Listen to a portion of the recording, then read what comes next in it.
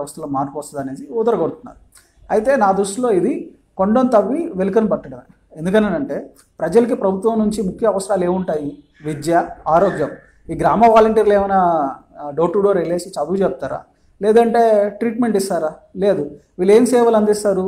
Ration కార్డులు పంచడము పెన్షన్లు పంచడము ration వస్తువులు పంచడం ఇలాంటివి. అసలు రేషన్ సిస్టమే వద్దు.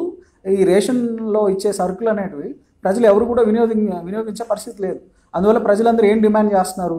ఈ రేషన్కి బదులుగా నేరుగా అకౌంట్లో మా అకౌంట్లో డబ్బులు వేయండి అనేసి అడుగుతున్నారు.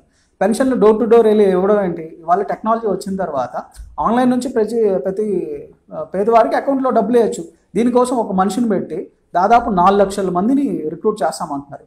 అంటే ప్రతి వెయ్యి మందికి పది మంది గ్రామ వాలంటీర్లు ఉంటారనమాట ఇక్కడ వండే వాళ్ళకంటే కూడా వడ్డించే వాళ్ళే ఎక్కువైపోయారు.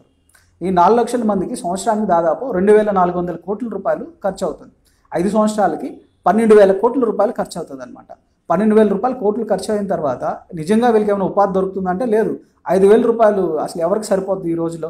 డిగ్రీ టౌన్లో అయితే డిగ్రీ చేయాలనంట గ్రామాల్లో అయితే ఇంటర్మీడియట్ చదువుకోవాలంట కూలికి వెళ్తే కూడా నెలకి రోజుకి నాలుగు వందల నుంచి ఐదు వందల రూపాయలు సంపాదిస్తున్నారు.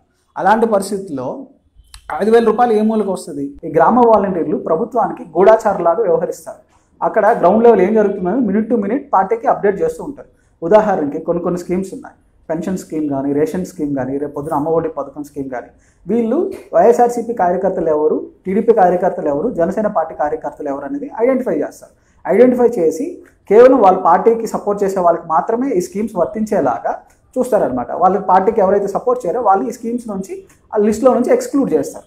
ఎందుకని అంటే మీరు నిజంగా నిజాయితీ ఉంటే ఆల్రెడీ ప్రభుత్వ వ్యవస్థ రెవెన్యూ వ్యవస్థ ఉంది మున్సిపల్ శాఖ ఉంది ఇంకా అంగన్వాడీ వర్కర్స్ ఇలాగ అనేక మంది పనిచేస్తున్నారు. మీకు చిత్తశుద్ధి ఉంటే ఆల్రెడీ పనిచేస్తున్న వాళ్ళ చేత మీరు eh, ఎఫిషియెంట్గా వర్క్ చేసేలాగా చేయించవచ్చు. మీరు వాళ్ళ చేత చేయించలేకపోతే రేపొద్దున వీళ్ళ వీళ్ళ చేత కూడా ఎఫిషియెంట్గా మీరు వర్క్ చేయిస్తారన్న నమ్మకం ఏముంది? సో ఇది కేవలం వైఎస్ఆర్సీపీ కార్యకర్తల్ని పోషించడం కోసం తీసుకొచ్చిన పథకం తప్పించి దీనివల్ల ప్రజలకు ఎటువంటి ఉపయోగం లేదు. ఎందుకంటే ఐదు వేలతో ఎవరి జీవితం మెరుగుపడదు.